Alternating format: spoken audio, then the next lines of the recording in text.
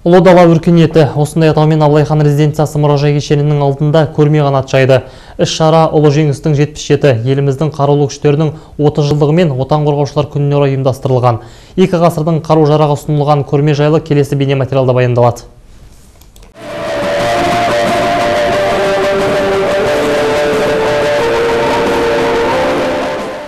Күнделікті шаруасы қызу Абылайхан резиденциясының ауласында бүгін жайлы атмосфера. Киіз үй тігіліп, күміс көмей әншілер әннен шашу шашып жатыр.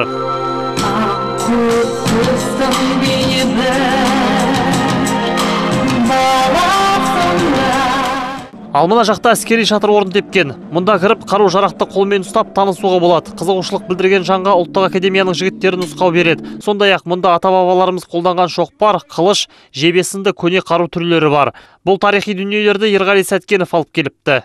алпысыншы жылдары бұл батырлық дастандар деген ол құлақта болатын өйткені біздің ата бабалар аталарымыз он тоғызыншы ғасырда өмір сүрген аталарымыз олар бізден ұмыттырмайтын жырларды жатқа жатаймыз қазіргі күнде қызығушылық осындай мерекелерде ғана Әр шатырға кіріп музей кешені мен әскери академия жұмыс ұсынып отырған дүниелермен колледж, университет студенттері танысып жатыр.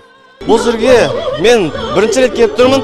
Мен алматы қаласынан келгеннен кейін петропавл қаласында осындай қызықты жерлер болғанына мен қуанып тұрмын.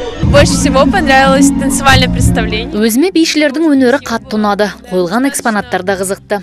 Ұлы жеңістің 77 жылдығы ә, отан қорғаушылар күні және де біз бұл көрмені қаламыздағы біздің ұлттық әскери академиясымен бірге бірлесіп жасап жатырмыз. Сол шеңберде яғни биылғы осы күндері мінекей ме- мерекелердің қарсаңында біздің қаламыздың қала тұрғындарына қала қонақтарына ә, қазіргі таңда біздің ұмытылып бара жатқан ә, осы бейбітшілік өмірімізді қалай сақтап қалды сондағы ерлік жасаған батырларымыздың қолданған қару жарақтарын көрсету мақсатында осы көрмені ұйымдастырып отырмыз Көрмеге барлығы 200-ге жуық жәдігер қойылған. Бердімұрат Баймұқан, Алдияр Айтбаев, муниципалдық телеарна.